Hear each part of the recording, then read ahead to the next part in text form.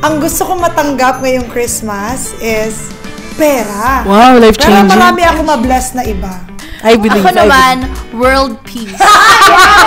Very Huwag kayong tawa-tawa dyan kasi sa dami-dami nangyayari sa buong mundo. Let's pray for world peace. Siyempre, good health. Hindi lang sa akin, sa pamilya ko, and for everybody. Yes. Ako naman, more projects for me and for XOXO.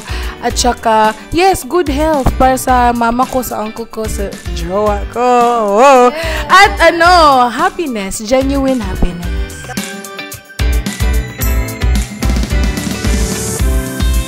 Gusto ko magbigay ng ah, marami pang happiness, katatawanan. Bigay pa kami ng saya. Ma-inspire sila sa, siguro, sa mga ginagawa ko, ng ginagawa naming lahat. Gusto ko maging inspiration, lalo na sa mga kabataan ngayon na kung ano yung passion nila, dapat i-pursue talaga nila.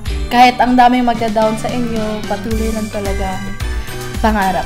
yung talento namin, talento ko. Happy ako na pag napasaya namin yung yung ibang tao sa aming mga performance, sa aming mga ibang projects sa GMA. Merry Christmas, mga kapuso! Sana masaya yung mga Pasko!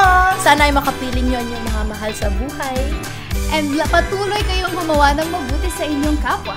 At kahit mahirap ang buhay, laban lang kasi kaya natin to. Go lang ng go!